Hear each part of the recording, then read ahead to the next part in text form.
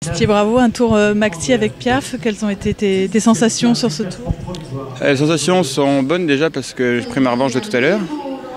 Euh, je suis ravi qu'il conserve ses points de dressage et c'était le cheval a été exceptionnel mais il y avait un manque de fraîcheur assez évident je pense en fin de tour.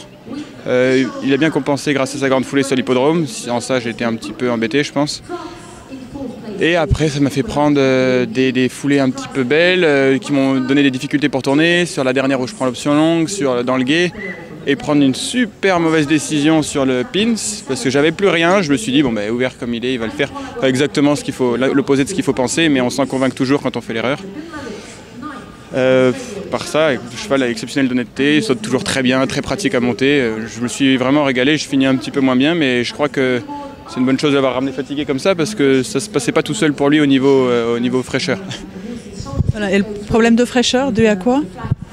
Dû au fait que euh, la préparation n'a pas été euh, optimale. Euh, on se prépare pour une échéance, on n'y va pas, on donne un peu de repos, on reprend. C'est pas très facile à gérer les pics de forme. Et là, on est en plein dedans. Euh, saison commence à être un peu longue pour lui. On l'avait bien orienté pour faire une saison qui finissait en septembre. Tu devais faire les championnats d'Europe à Blair Castle. Voilà. Et donc là, finir deux mois plus tard, bah, ça commence à peser un peu. C'est un cheval qui a besoin d'être économisé un peu donc, euh, dans sa santé. Donc euh, on ne peut pas tout le temps euh, appuyer dessus pour mettre de la condition. Et voilà, c'est des pics de forme à gérer.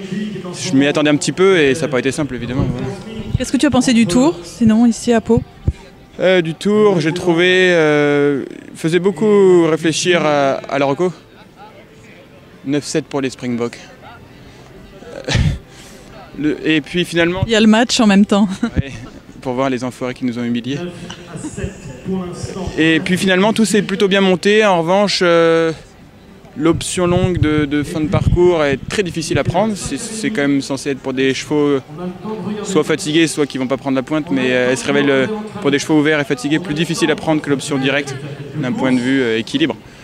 Euh, dans, dans le oui, il faut, faut être très réactif. hein. C'est du Pierre Michelet, quoi. C'est pas fait pour les gens endormis. C'est pas du, c'est pas du tout droit.